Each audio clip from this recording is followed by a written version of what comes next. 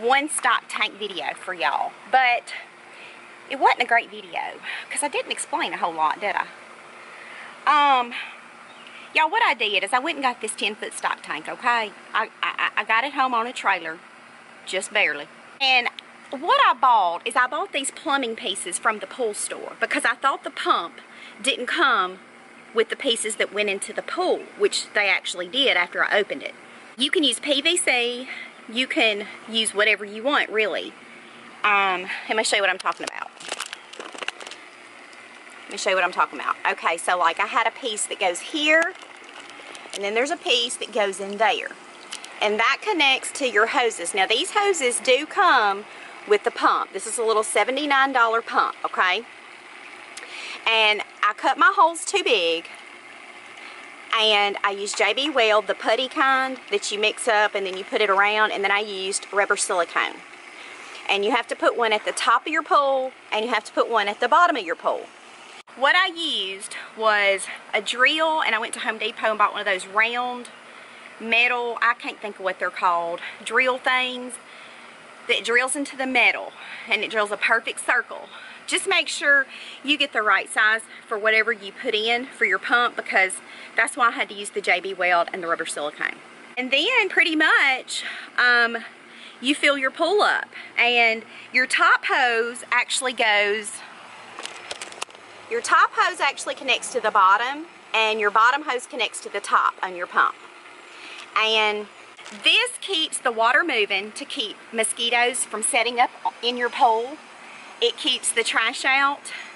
And you can go with a more expensive system, but since this is just a little 8 foot diameter pole, 2 foot deep, I just felt like this was probably sufficient. And so far it has been.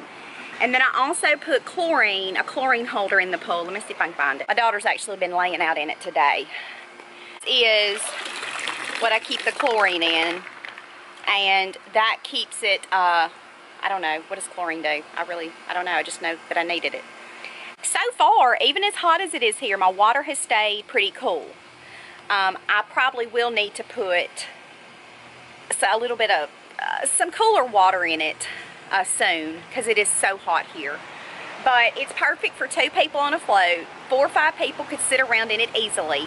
Um, it's just a cool little thing to um, to have to cool off in it I probably have five or six hundred dollars in it total with the the tank and the the pump and you know the chlorine and stuff. It's something that'll last. It's not like you're going you know it's not like you're going to get it at Walmart and the next year you're going to need another one. So this can be used over and over.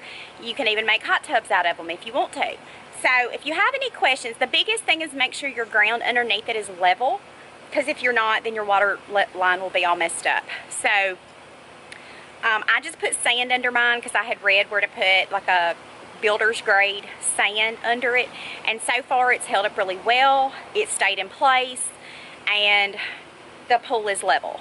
And I just took a two by four and put on top of the pool all four directions, put my little level on the end, middle, and the other end to make sure I had it level. So, if you're thinking about doing a stock tank pool, they're actually really cool and everybody that comes over here loves it. So I still have to fix up around it. It's been too hot for me to plant things around it and decorate and do my fence and all that. But I will come back when I get that done. So just trying to give you a little more detailed on how to do the stock tank pool. If you have any questions, let me know. Thanks for watching.